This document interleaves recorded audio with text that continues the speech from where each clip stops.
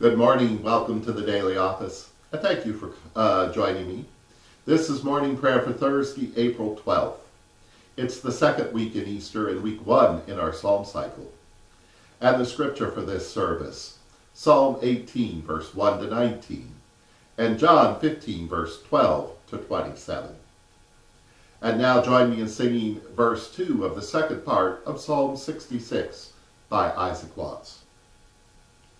My lips and cheerful heart prepare to make your mercies known.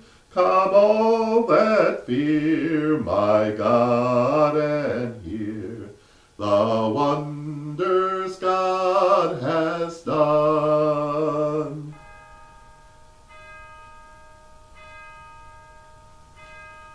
Open my lips, my mouth shall declare your praise. Hallelujah, I love you, my God and my strength.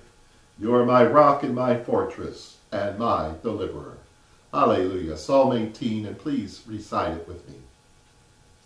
Hallelujah. I love you, my God and my strength. You are my rock, my fortress, and my deliverer. You are my God and my strength, in whom I trust, my shield, my salvation, and my high tower. I call upon you, worthy to be praised, and I shall be saved from my enemies. The sorrows of death surround me, and the floods of the ungodly made me afraid. The sorrows of hell plotted against me. The snares of death were set for me. In my distress I called to you. You heard my voice out of your temple, and my cry came before you to your ears. And then the earth shook and trembled. The foundations of the hills moved because you were angry. Smoke came out of your nostrils and fire out of your mouth and coals were kindled by it. You lowered the heavens and came down, and darkness was under your feet. You rode upon a cherub, you flew upon the wings of the wind. You wrapped yourself in darkness, dark waters and thick clouds your pavilion. From your brightness burst forth hail, and coals of fire through the thick clouds. You thundered in the heavens, and uttered your voice, hail and coals of fire.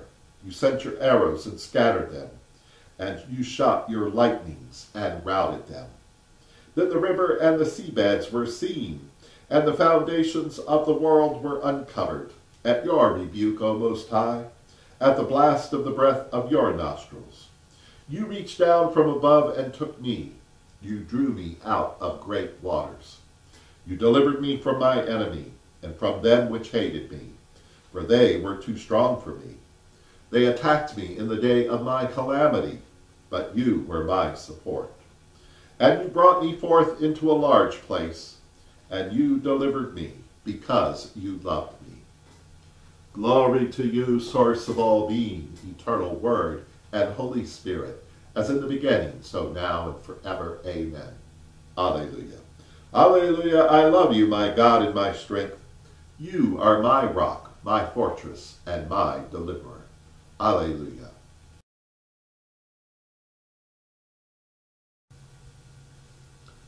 A reading from the Holy Gospel according to John, chapter 15, beginning at verse 12.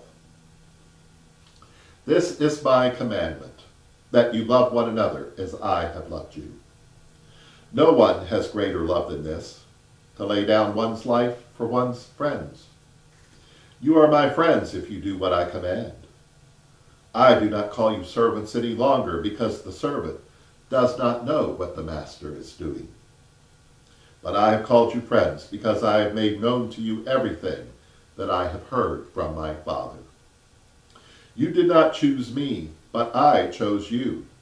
And I appointed you to go and bear fruit, fruit that will last, so that the Father will give you whatever you ask him in my name.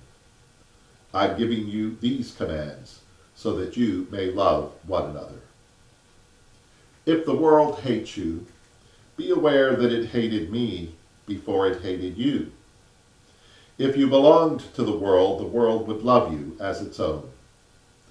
Because you do not belong to the world, but I have chosen you out of the world. Therefore the world hates you.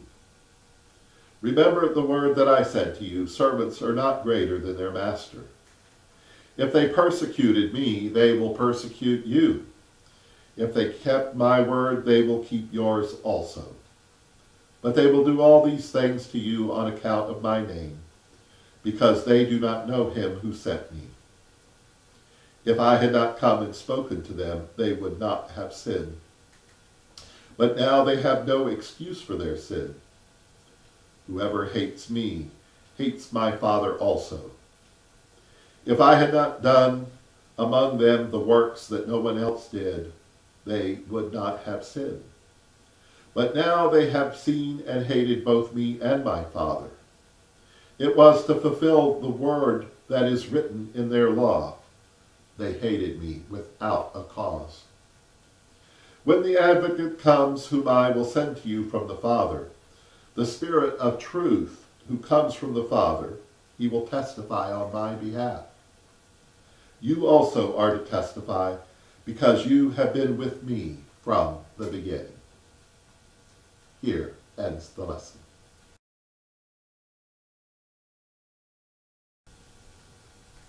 Save your people and bless your inheritance.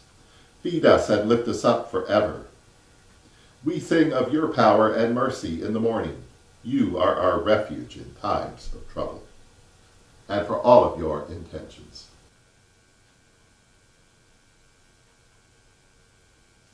And now, in the words our Savior taught us, we're bold to say, Our beloved which art in heaven, holy is your name. Your kingdom come, your will be done on earth as it is in heaven. Give us this day our daily bread. Forgive us as we forgive others. Lead us not into temptation but deliver us from evil. For the kingdom, the power, and the glory are yours, now and forever. Let us pray. Dear God Most High, hear our cry in times of distress. Deliver us from our enemies, for we cannot prevail without your help. For you are our God, our fortress, our rock, our strength, and our salvation and we exalt in you forever. Amen.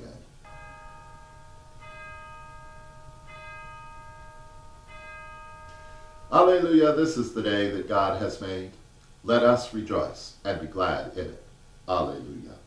And glory to God, whose power working in us can do infinitely more than we can ask or imagine. Glory to God from generation to generation, in the church and in Christ Jesus, now and forever. Amen. Alleluia.